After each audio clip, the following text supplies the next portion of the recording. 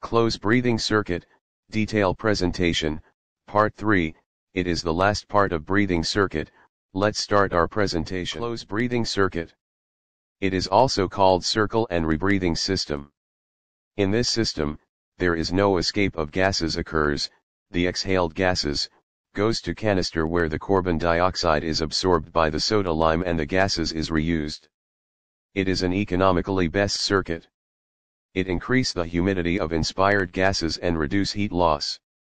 It can be used, in adult and children for both spontaneous control ventilation.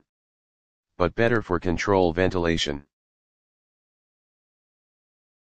This is a close breathing circuit. It has seven important parts. First one is, fresh gas inlet. 2. Unidirectional valve, inspiratory and expiratory. 3. Corrugated tube. Inspiratory and expiratory limb 4, Y-piece connector. 5. APL valve. 6. Reservoir bag. And 7. Soda lime canister. Principle for the positioning of different component. Unidirectional valve should always be between, patient end and reservoir bag. Fresh gas flow inlet, should always be, either just downstream or upstream of the unidirectional inspiratory valve. The APL valve should be, between expiratory unidirectional valve and canister, just about the reservoir bag. The main purpose of these unidirectional valve, to keep the flow of gases in one direction and prevent backward flow. Soda lime canister. It is an important part of closed circuit, it used to keep soda lime in it, for the absorption of CO2. Single chamber canister have a capacity to accommodate 900 gram soda lime. If double then 1800 gram. 100 gram of soda lime can absorb, 20 liters of carbon dioxide.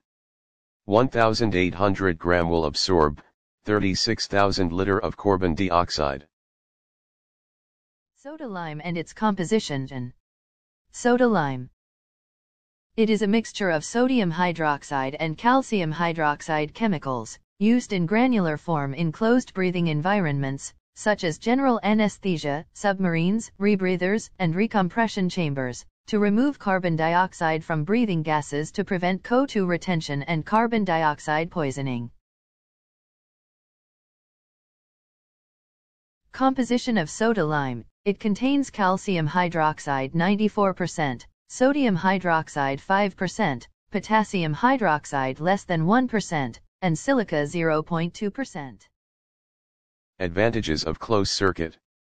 It is economically best circuit. It reduce pollution, reduce heat loss, and increase humidity. It is all about closed circuit.